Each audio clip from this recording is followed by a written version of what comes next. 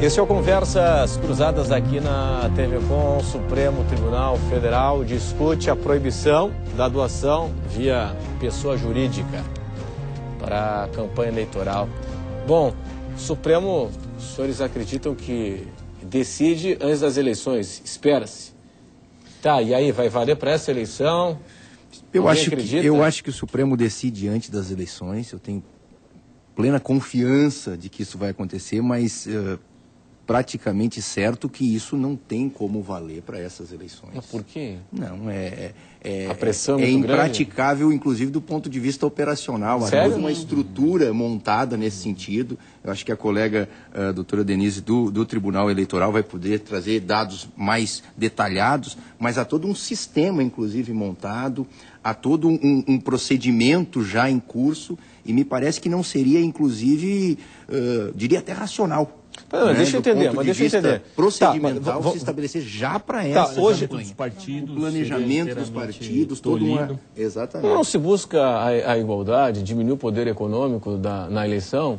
Bom, acho que já, já se atacaria, ué, se atingiria o objetivo, né? Eles iriam sentir... Mas é interessante, Renato, é, foi colocado no bloco anterior sobre o financiamento público e se falou que esse tema ele está um pouco esquecido, uhum. mas nós não podemos esquecer que se nós estamos admitindo que haverá a vedação do financiamento por empresas, nós teremos que debater, por via de consequência imediata, o influxo brutal de recursos públicos para o financiamento de campanhas. Só não, nós teremos que balancear, nós teremos que discutir essas questões, e a via, claro, vai ser o Congresso Nacional, por óbvio, mas nós não podemos imaginar que simplesmente vai se vedar o financiamento por empresas, vai se continuar com o fundo partidário nos mesmos valores, nos mesmos moldes, e que isso vai é, mas, funcionar mas, de imediato. Pois é, mas esse né? esquema, esse esquema aí de vai recurso público foi o esquema denunciado pelo Ministério Público Federal do mensalão, que era, é, era é, verba de publicidade, que entrava numa agência, voltava para o partido e tal. Sim. É, é, é, disso que o senhor está tratando? Não, não essa necessariamente. é a prática criminosa. Não necessariamente. Essa é a, se refere tá ao recurso público investido legalmente, legalmente. na campanha para poder alicerçá-la. Tá, o, mas que recurso o professor é visualiza um, um acréscimo do fundo partidário nós precisamos de, de imediato. Nós precisamos, se nós vamos discutir que o financiamento de campanha por empresas vai ser vedado, uhum. nós não podemos também, uh, aí eu não seria, eu acho que até, não seria ingênuo, mas imaginar que de imediato o custo das campanhas baixaria é, eu creio de forma de imediato totalmente não, reduzida. mas na verdade a petição da OAB, como claro o senhor conhece em profundidade, ela defende o financiamento exclusivo por pessoas físicas. Pessoa física e nessa sim. condição nós não teríamos nenhum tipo de aporte de recurso público para eventualmente compensar a queda do financiamento das pessoas jurídicas. É. Não teríamos não. não. A partir da via judicial sim, sim, mas nós não podemos, claro, ah, claro. negligenciar que o debate sim. vai ter que ser feito. O que me chama a atenção é que o Congresso Congresso Nacional tem encampado essa mesma, esse mesmo viés e, e impulsionado a passos rapidíssimos, né, para não dizer instantâneos, um projeto exatamente igual, de mesmo teor. Né? Talvez para não ser atropelado novamente, doutora, pelo judiciário. Mas veja, a mini reforma eleitoral que acabou de ser aprovada não tem aplicação garantida para essas eleições. Uhum. Há uma Ainda consulta não tem, é tramitando é no Tribunal Superior é Eleitoral e nós não temos essa decisão. Então, acho muito difícil, ainda que o Supremo Tribunal Federal venha a julgar em definitivo essa questão antes das eleições, que ela possa ser posta em pauta para aplicação nestas eleições. Ah, eu concordo, uhum. eu concordo, uhum. eu concordo. Nós precisaríamos de uma janela que se vai discutir, a própria OAB para algumas questões ela fala em 24 meses. O Supremo né? fala em modulação e da o decisão. O Supremo fala em modulação, mas, mas claro... Se a gente for observar os pronunciamentos que foram tomados até então, daqueles que, que chegaram a entrar na questão da modulação, e, e boa parte deles disseram, a modulação, nós conversamos Só no final, final. É, é, é, não inclui nesse, o que se fala de deferimento e, e, ao, e, ao, pronunciamento do ministro Fux é exatamente com relação à questão dessa do limite teto, do limite de, de doações particulares. Mas a, a, o, voto proferido pelo ministro Fux em relação, no primeiro momento que de acolhimento, dá a entender que seria para essas eleições. E, de fato, a questão é como viabilizar esses aspectos. É a primeira questão que a gente leva em conta. E a segunda questão, ainda que fosse possível viabilizar, uma coisa é a decisão ser proferida ontem ou semana passada. Outra coisa Sim. é as vésperas do pleito. Uhum. Sim. Aí o financiamento é... já ocorreu. Sim. E, e, e todo, todo arranjo já está posto. E você, e você na, acaba inviabilizando na prática.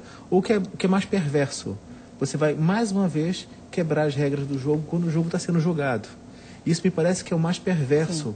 desse tipo de intervenção do judiciário, quando você quebra as regras do jogo, quando o jogo está sendo quebrado. É um prejuízo muito grande. É, Esse eu concordo é... que é um prejuízo para a democracia. Mas, mas, é um jogo sujo que a gente está vendo aí, né? Que jogo é esse que a gente está é, é, defendendo? É, um jogo sujo não, que a gente está vendo aqui, né? É em termos legais, no presente momento, a doação por pessoas jurídicas ela é ela é inteiramente é ilícita. Não, não, mas o jogo sujo que eu estou dizendo é esse, que o cidadão, a, a empresa dentro, faz claro. investimento, bota um real e vai ganhar oito reais e meio depois, sim, lá na frente. É por isso que eu defendo que a estrutura de fiscalização precisa ser ampliada. E eu não estou falando apenas da justiça eleitoral no é momento um da campanha. Uhum. É preciso que o depois da campanha, quando esse mesmo candidato eleito assume, essa, esse, esse mandato executivo seja fiscalizado para que se possa apurar se houve ou não o retorno desse investimento na campanha eleitoral de uma maneira ilegal. Pois é, mas daí você não beneficia o, o infrator, porque ele já tomou posse. Já tomou posse. Se ele for punido por uma eventual infração, é. eu penso que ele não teria benefício nenhum. Mas é, me parece que a gente também tem que tirar um pouco o foco da questão. É, digo, é, nós estamos pressupondo que, que e, e uma pressuposição perigosa, de que se eu admito, se eu recebo uma, uma, uma doação de uma empresa, eu vou me corromper para vender o, o, meu mandato para esta empresa. É uma pressuposição, me parece um pouco perigosa, e que, e, e, que já pressupõe uma criminalização de uma conduta que reforça um estereótipo que afasta as boas pessoas. Pois é, mas é o seguinte, eu estava lendo o jornal, a Folha fez um levantamento um tempo atrás, e mostrou o seguinte, é, os principais contratos firmados pelo governo tal, o montante do, do recurso, a grande parte do recurso é, de quem é beneficiado, venceu o edital e tal, é a gente que financiou as campanhas. Então... Mas se a gente for perceber o seguinte, o maior contra, o contratante do país é o poder público. Sim.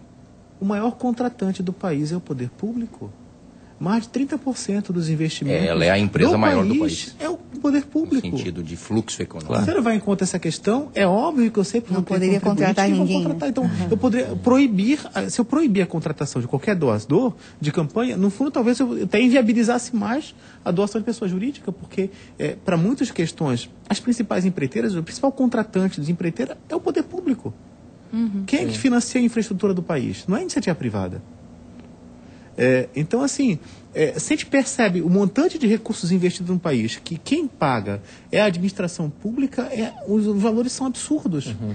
Claro que uh, a gente é, copiar modelos externos é, é, meio perigoso, porque cada país tem a sua cultura, né? Tem, Você não Enfim, consegue é, recortar não dá, Não dá para trazer o povo junto, né? Não adianta.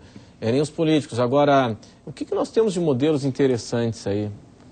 Os Estados Unidos tem Estão até incrementando né, a possibilidade de, de doação por pessoa jurídica é, mas Eu né? creio que qualquer modelo importado ele jamais seria aplicável com perfeição claro, aqui, claro. porque os modelos que funcionam em outros países eles estão associados à cultura claro, daquele país claro. que, que vem de muitos anos, né? Não é algo que se importa o modelo e traz para cá.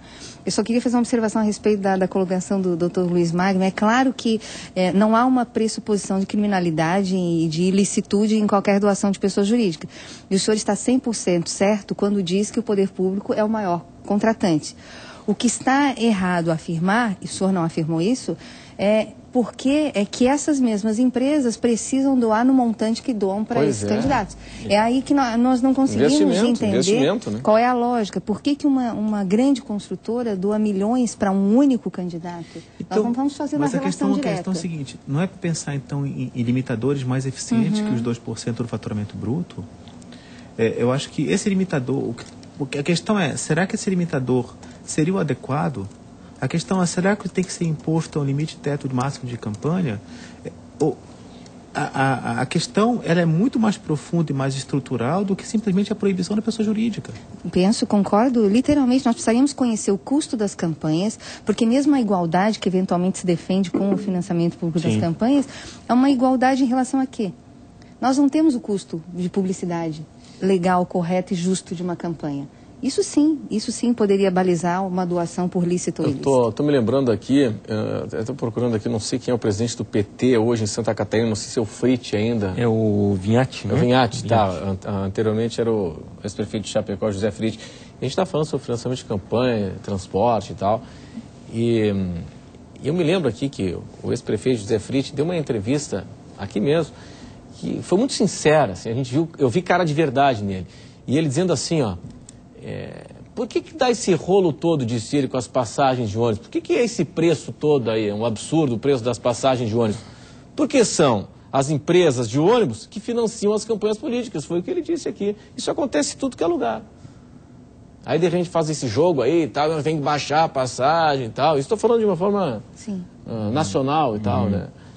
E aí fica um teatro, né? A gente fica acompanhando um teatro aí na, é, na imprensa. É interessante, né? Renato, colocar uma questão. Uh, quando a Ordem dos Advogados do Brasil, juntamente com uma série de outras entidades aí da sociedade civil, deflagrou essa, essa, essa campanha Eleições Limpas, uma das grandes preocupações foi como o empresariado iria encarar Sim. essa questão do financiamento. E para nossa surpresa e satisfação, uma grande parte das instituições uh, de, de empresas, A de favor. entidades industriais de todos os estados são favoráveis, abertas e amplamente favoráveis Bacana. ao fim do financiamento por empresas. Uhum. E aí nós entramos naquela dúvida tremenda. Até onde vai a, a relação e de onde ela parte? Será que é a empresa que força o político a receber uma doação espúria? Ah, ou será que é o político? É, é, é, quem, de onde parte a corrupção? Será que ela vem claro, de claro. diferentes tonalidades? E como claro, é que isso funciona? Né?